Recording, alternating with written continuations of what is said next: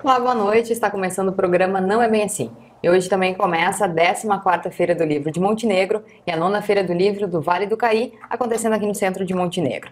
E esse é o assunto do programa de hoje. Por isso nós estamos aqui no estúdio recebendo Matheus Araújo, que é agente de Cultura e Lazer do SESC aqui de Montenegro, e também Leonardo Appel, que é diretor de Cultura aqui da cidade. Muito obrigada pela presença de vocês. Vocês são membros da organização desse evento importante né, da cultura aqui da cidade. Como é que está a organização dessa edição aí da feira? Bem-vindos, né? Boa noite, Karine. Boa noite aos telespectadores da TV Cultura. Para nós é uma honra, né? Tanto a Prefeitura Municipal, através da Secretaria Municipal de Educação e Cultura, a promoção da Feira do Livro em parceria com o SESC de Montenegro. Então tá bem intensa como sempre, né? Quanto tempo de organização? Assim? Desculpa. Boa noite, Karine. Boa noite, os telespectadores. Uh, formalmente, assim, algo uh, a partir de dezembro, janeiro, que a gente começou a fazer os encaminhamentos, mas as conversas a gente começa logo após encerrar a última edição, né? Para saber mais ou menos período, uh, alguns detalhes, enfim, a gente já está, acredito que uns seis meses por aí, assim, em função de, de fazer. Se faz uma avaliação da edição anterior e já planejando a, sim, sim, sim. a nova, sim. De nossa parte, até a gente tem uma prestação de contas para fazer de forma bem burocrática, financeira, para o Departamento Nacional do SESC, né, que faz atividades em todo o país, enfim. E aí o evento continua alguns meses depois de ter acabado efetivamente na praça. E como é que é, é realmente em relação ao ano passado, assim, já fazendo esse comparativo? O que, que se planejou para esse ano, assim, de mudanças? Uh, é, é, essa é uma pergunta bem, bem recorrente para a imprensa, assim, porque as pessoas sempre querem uh, saber o que, que vai ter de diferente, o que, que vai ter de melhor, né? E a gente trabalhou bastante, tem, eu acho que a programação esse ano está bem legal, está bem rica em termos assim de conteúdo, do que se propõe e do que de quem vem também, né?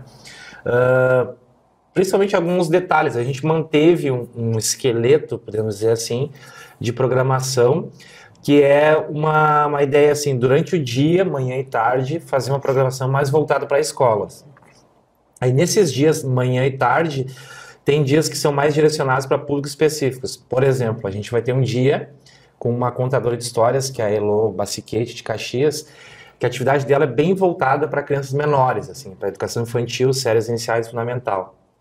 Já tem um outro dia que a gente vai receber o, o teatro do Tio Tony, uh, que é, vai tá, é, o nome do espetáculo é Don Quixote Sonhador Solitário. É uma referência aos 400 anos de, do lançamento do livro Don Quixote do Miguel de Cervantes.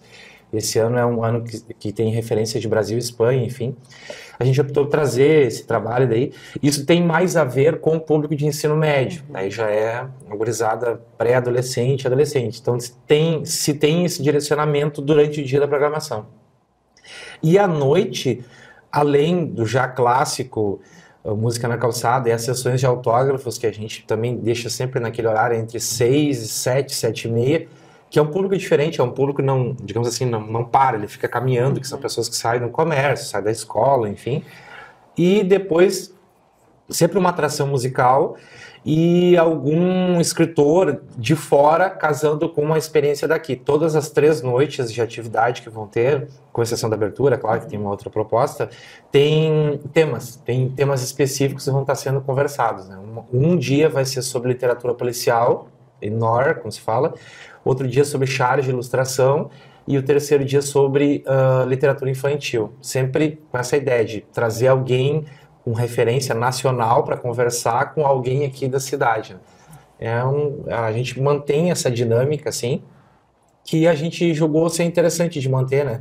E principalmente para essas três propostas assim que a gente contemplou, a exemplo do ano passado, onde a gente fez um encontro sobre crônicas esse ano a gente contemplou três temas que têm relevância com os escritores daqui, porque a gente tem bastante gente que faz esse tipo de literatura policial, tem algumas pessoas que escrevem literatura infantil e charge de ilustração. A gente tem dois chargistas fantásticos na cidade, que é o Cabra e o Versa, e até toda essa ligação assim da literatura com artes visuais, que tem tudo a ver com Fundarte, com Ergs, enfim. Quais são os desafios de se organizar uma programação? É realmente uh, olhar para todos os públicos, é, montar realmente a programação? Quais são os desafios aí? Acho que o primeiro de todos, né, que até nós falávamos essa semana, foi o desafio da equipe da organização especificamente, né? Porque trabalhar com pessoas é complicado, então uh, cada um com seus pontos a serem ajustados e a serem organizados da melhor forma possível. Uh, só pegando um gancho antes, Karine, até que tu falaste sobre a mudança, né? Uhum. Tentamos este ano fechar a Ramiro Barcelos, uhum. né? Que para nós, uh, para a comissão e para a questão visual da feira, Ampliar a questão organizacional da feira, justamente isso, era de proporcionar uma forma diferente este ano, né? Uh, visto que existe uma lei municipal e que a feira, feira do livro deve sempre correr junto à Praça Rui Barbosa, então, nós não podemos mexer enquanto não for feito algum tipo de alteração na lei ou qualquer coisa nesse sentido. Então, qual era a ideia, né? Que se pensou desde o ano passado, enquanto comissão, e como eu assumi o departamento este ano, então a gente acabou pegando o mesmo gancho e a mesma linha de raciocínio. A ideia, sim, era fechar a Ramiro Barcelos para que possamos ter um espaço maior de público e poder comportar maior, uma capacidade maior, né? Com a estrutura que a gente tem hoje da feira, a gente consegue uma média de 200 pessoas, né? Com a feira nós conseguiríamos o dobro, né?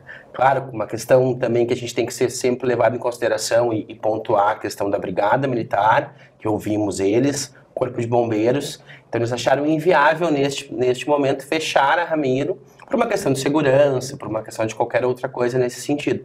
Então achamos por bom tom realmente permanecer novamente com a estrutura dentro da Praça Rui Barbosa. Tá? Quanto aos desafios, são inúmeros, então, porque assim, a gente tem que pensar nas, nas minúcias todas, né? Então, assim, desde estacionamento, desde a, questão da locação das lonas, do espaço, da como, como vai ficar melhor, como se vão ficar melhor acomodados, se não vão ficar. Então, tudo isso a gente tem que pensar e a gente ainda, uh, ao longo da feira, ainda a gente também tem essas, essas dificuldades que vão acontecendo, que é normal de qualquer evento que a gente produza, né? Com certeza. E tem essa questão do tempo também, né? Essa última semana a gente teve temperaturas bastante altas, agora a gente está mais no frio. Isso também atrapalha, de um, de um certo modo, a organização? Vocês estão meio preparados para isso também? O público pode se afastar um pouquinho em função do, do frio, se chover, enfim. Como é que vocês estão preparados para essa questão? É, que é do dia, né? Está, não tem muito. Está bem defendido no sentido assim da, da logística, da estrutura física, por exemplo, se defende no caso de chuva, né? uhum. né? Ah, tá, é, toda a estrutura se mantém assim. A calçada da Ramiro, da São João é coberta, o próprio palco é coberto, mas a, nossa vivência em, em promoção de eventos sabe que quando está muito frio, muito quente, muito chovendo demais, isso afugenta um pouco as pessoas, uhum. assusta, enfim, né? Mas uh, a gente tem que compensar de outra forma, né? E eu acho que com a programação, com a qualidade que tá, já dá, já chama um calorzinho para ajudar. A programação não sofre alteração independente do, do tempo? Assim. Não, não, se mantém Acontece. independente, por exemplo, se estiver chovendo, qualquer coisa do tipo, se mantém da mesma forma. Falando um pouquinho da escolha do patrono, né? O patrono realmente é uma figura importante dentro desse evento, né? Esse ano é o escritor Oscar Bessi Filho. Como é que se escolheu, como é que se chegou a ele? Que é um, um, um escritor com, com, bastante respaldo aqui na cidade, vários livros premiados também. Como é que se chegou a esse nome, né?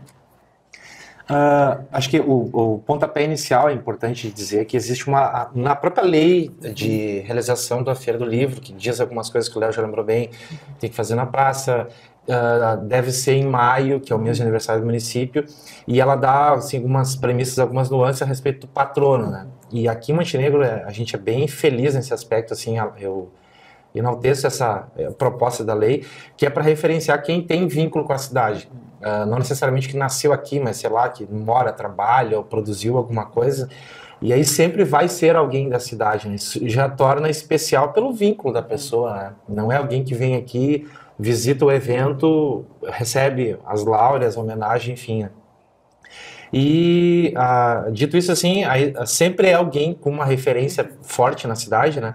O ano passado foi a Karina Luft, e aí esse ano, agora ah, partiu da, da, da, da, escolha, até foi bem interessante, assim, do próprio prefeito Aldana, assim, saiu dele essa ideia de estar tá chamando o Oscar, assim, que na minha opinião, já devia ter sido chamado em outros anos.